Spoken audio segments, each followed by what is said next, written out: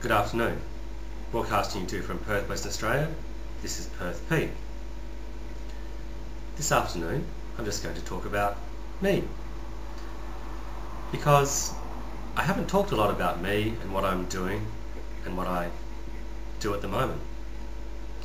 If you watched a lot of my videos you may have picked up a lot of things about me but I haven't really provided you with information about what I'm doing at the moment and where I'm from. So, um, if you've watched my previous videos, you'd know that I'm 41, that I'm single, that I live alone. But how did I get to be here and what was I doing previously? Well, I was born and bred in the country in a town called Northam, which is about 100 kilometres east of Perth and I lived there until I was 17 and a half, at which point I came down to Perth to complete a university degree. And I studied for my Bachelor of Business Accounting and completed that degree when I was oh, 21. I took a little while to do my degree because um, at the age of 18 and a half I got involved in the student guild politics there and was involved in that for a couple of years. And then I think I probably spent a little bit too much time involved with the guild. And in the third year of my degree, I failed a couple of units and um, withdrew from one. So I had to repeat those and only did those over the next couple of years. When I finished my degree, I went out and worked as an accountant, but I lost three jobs in three years. I think people realised that I wasn't meant to be an accountant. And I think I realised that at the same time. For several years I worked in casual jobs, working as a market research interviewer.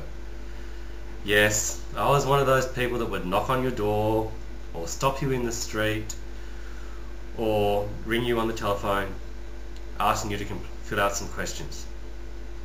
Now I could live with myself doing that because I worked with a company that was ethical about it and did their job really well. And I knew that we weren't selling anything. And I didn't pressure anybody that didn't want to do a survey. It was no use doing forcing people to do surveys.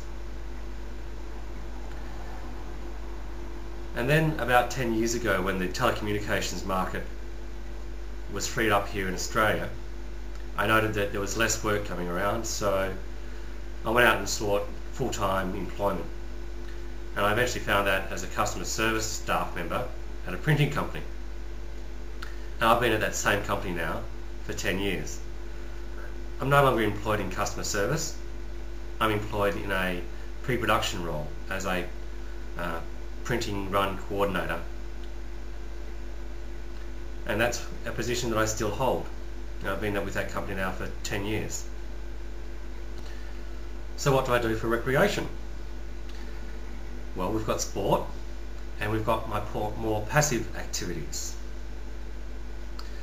As I mentioned, I was raised in the country and it was fairly typical for kids in the country areas to go and play sport. And at the age of eight, my dad took me down to the local Australian Rules Junior Football Club and I started playing sport, playing football. And I played football up until I was 16, at which point I would have had to step up to play against grown men, adults. So I chose not to do that. And that was also the year that I was studying for my tertiary entrance examinations. The American equivalent would probably be your SATs, and I think the English equivalent is your O-levels. But these are the exams that you needed to pass to get into university.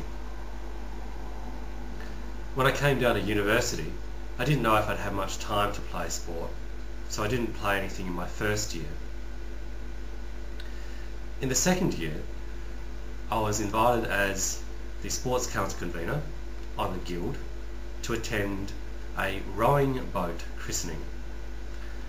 And I went along and the sport looked interesting, so that's what I did. I rowed. And I rowed for about six or seven years until working life and a change in location, change in suburbs here in Perth got in the way. I couldn't quite hack getting up at 6 o'clock in the morning and travelling 20 kilometres to get to the rowing club and then having to come back to uh, my home and then get ready and go to work. So I gave rowing away. So I took up rugby union and I played, played rugby union for two seasons until towards the end of my second season I dislocated my shoulder. Fortunately that was the end of the season and I didn't do anything um, for that season. It was also about this time that I lost my full-time employment. And when I went to start working casually in market research, I didn't really have the time to commit to a team sport because most of my work was during the early evening hours. So I didn't play sport for several years. And it was only when I found full-time employment 10 years ago that I thought, well, I should be playing some sport. I need to play sport. I really enjoy playing sport. So I went to play touch football, which, again, if you've watched my previous videos, would know is a heavily modified, non-contact, that's the important bit, non-contact version of rugby league. You don't tackle people in touch football, all you need to do is touch them. So I played touch football for a while and then saw that they were always short of referees and I thought I'd give that a go and so of late that's mostly what I do, I just referee. So that's sport. What do I do for passive recreation? Well, of late I haven't been doing much apart from playing bridge. Bridge is a card game. Many people associate it with older people. Um, too difficult for, you, for me to explain it to a layman what it is. But um, yeah, I really enjoy the mental challenge of communicating with my partner to um, get the most out of our hand of cards. I say mostly that's what I do nowadays. Um, YouTube has largely taken over the rest of my recreation prior to discovering YouTube, I used to read a lot. I really enjoy Australian authors. Tim Winton and Peter Carey are some favourites. And I'm quite partial to some sort of offbeat crime. Uh, two authors that I enjoy are Michael Connelly and John Connolly.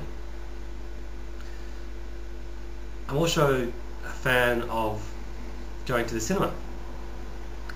Now, I don't go a lot nowadays, again, YouTube's come to dominate. But uh, in the past I've always enjoyed going to independent and art house cinemas. And indeed the film that I've recommended um, in my five questions video was a foreign language film which would normally show at an independent cinema. Uh, that film was called The Lives of Others.